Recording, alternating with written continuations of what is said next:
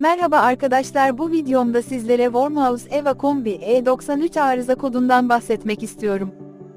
Öncelikle kombi ekranına herhangi bir arıza kodu gelmiş ise kombinizi resetlemeniz gerekir. Resetleme işlemini kombi paneli üzerinde bulunan reset tuşuna bir defa basıp bırakarak gerçekleştirebilirsiniz. Arıza düzelmez ise bu işlemi birkaç kez denemeniz gerekir. Gaz yokluğu olarak bilinen arızaya reset attıktan sonra düzelme olmadıysa ilk olarak bakacağınız yer kapı dışında bulunan gaz sayacıdır. Gaz vanasının resimdeki gibi boruyla paralel bir şekilde açık konumda olması gerekir. Aynı şekilde kombi yanında bulunan gaz vanasının da boruyla paralel bir şekilde açık konumda olması gerekir.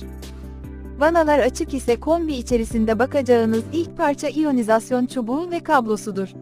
İyonizasyon çubuğu tortu tutmuş ise sökülüp zımpara yardımıyla temizlenmesi gerekir.